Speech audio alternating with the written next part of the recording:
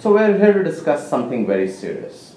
A lot of Indians across the world, not only just in India, continue to consume Ayurvedic medicine. Now, the knowledge is very old and the information was very good when it was. But today, a lot of companies seem to be using industrial materials in their Ayurvedic medicines, which means we need to get to the bottom of it.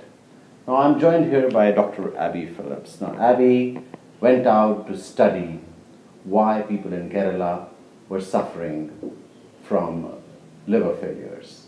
And his assumption was, as a doctor, that possibly alcohol is responsible. Now, Dr. Abby Philips has a Doctor of Medicine in Hepatology, which means he's from uh, a school which studies specifically liver diseases. He's from ILBS, one of India's premier institutions studying liver disease. Uh, his bachelor's, his MBBS is from St. John's in Bangalore, and uh, his study has just recently come out. Let's get to the bottom of it and understand uh, why uh, his assumptions and then his prognosis of what is happening uh, on the ground. So, Dr. Philips, tell me a bit about what's when you studied it. What did you find out? So, um, a lot of patients who uh, developed acute liver injury, we were not able to find out, uh, or rather, we were able to rule out the common causes that we see, like alcohol. Most of them did not have significant alcohol intake. Some were uh, not consuming any over-the-counter medications like painkillers or antibiotics in the long term. Uh, about 9% of these patients who developed liver injury had consumed uh, Ayurvedic and herbal medications, and about 3 to 4% of them had developed severe liver injury. So we looked at why this was happening. Uh, we did a chemical and toxicology analysis on these medications that we retrieved from these patients, and we found out that they had very high levels of uh, heavy metals and also hepatotoxic, that is liver toxic volatile organic compounds, which are mostly uh, industry grade alcohols like phenols and cresols and uh, terpenes, etc. So phenol is what we use for wiping our floors and things yeah, like that. but they are natural components of uh, many herbs and plants also. And in uh, smaller doses, they don't, you know, cause any major problem. But a lot of these Ayurvedic medications have multiple components in it, and maybe these drug-drug interactions could lead to uh, potential liver uh, toxicity.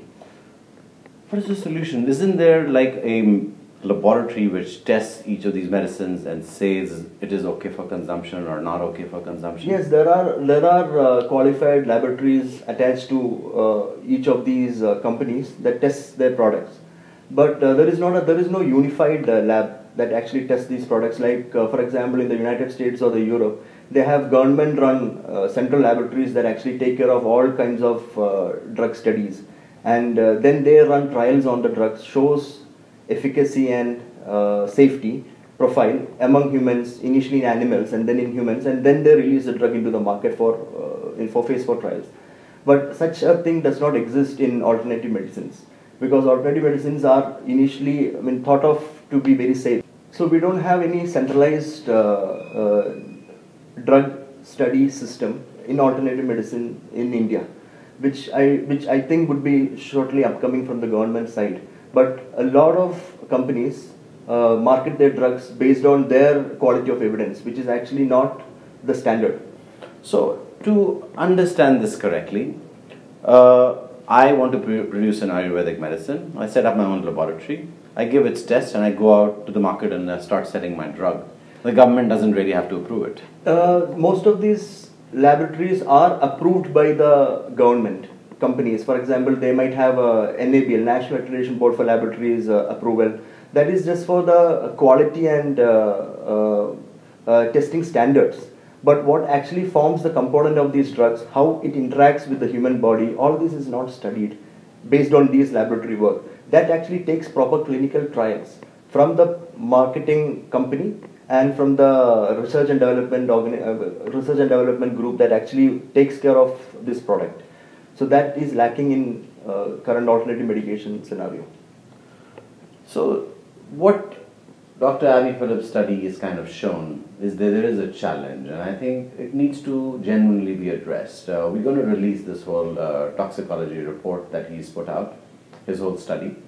You should go through it. But what's required is really more uh, overlooking by the government, having a central laboratory, which means every drug that goes out Uh, it may be a proprietary drug for that matter, but the tests have to be done properly, and I think that's what you're asking. Yeah, so uh, what I'm saying is, I'm not saying that Ayurveda is harmful, nobody should take it. No. I'm saying that, yes, it, it is of use to people, but there should be clinical evidence for its use.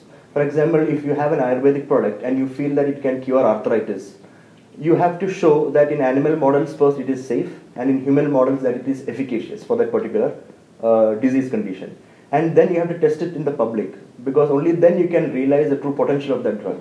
Such clinical studies, high quality studies, randomized controlled trials, they are not there currently in this scenario, which is what the Ayurvedic uh, practitioners and the companies who make Ayurvedic products should be looking into. Every drug has side effects, including modern medicines. But in modern medicine, the drug that has side effects we know about. We know the dosing, we know which drug not to give a patient who has this particular risk. Like for example, a patient of severe liver disease, we don't give a higher dose of paracetamol. We give a lower dose of paracetamol. Such studies are already being done on that particular product. Such studies need to be done in complementary and alternative medications and then it should be marketed for commercial purposes. Thank you very much, Dr. Abby Philips. I think it's a very important point. Uh, he's not saying they don't consume Ayurvedic drugs, but what he's saying is these tests must be done, the efficacy must be tested, and then what are the side effects need to be known and how much quantity. And I think uh, that needs to be seriously looked at. India exports a large part of its Ayurvedic you know, production to the rest of the world because there are a lot of people around the world who consume it. We have a global responsibility as much as we have a responsibility towards Indians first uh, who consume these drugs in large quantities. Thank you, Dr. Abby. Thank you.